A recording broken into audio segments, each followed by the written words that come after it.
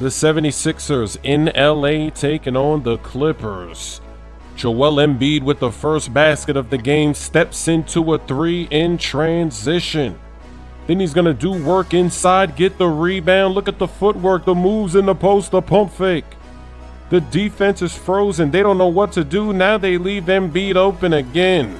He had 28 points, 19 rebounds, 3 blocks. This game was physical, and it started off with two 76ers going at it. ben Simmons, he accidentally elbows his own teammate Embiid in the face on the rebound. And I guess, I don't know, maybe this made Embiid mad because as we continue this game, and the Sixers actually have a nice lead here in the fourth quarter. But now Patrick Beverley's going to get into it with Joel Embiid inside.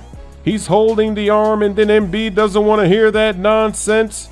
He actually grabs him by the neck.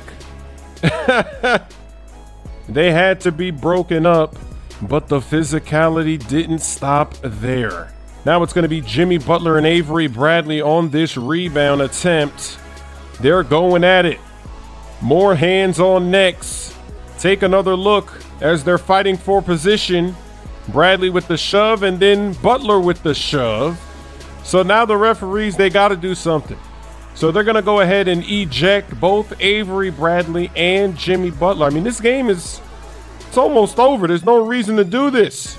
Embiid playing defense. Harrell gets the tip in.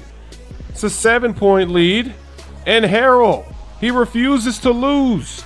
All of these ejections, it's changed this game. Harrell, look at him being a bully, but he gets rejected. And then he puts it back up for the and one. This place is going crazy. It's a four point lead. Embiid talking trash. Knocks down the mid range shot. 15 seconds left. It's a four point lead. And Ben Simmons wide open for the slam on the inbounds play. You turn your back. That's a new move. Give that guy a manual. What are you doing? I gotta figure out how you tell your teammates don't leave the screener. Let that guy go to the paint. Oh, I got him leaning.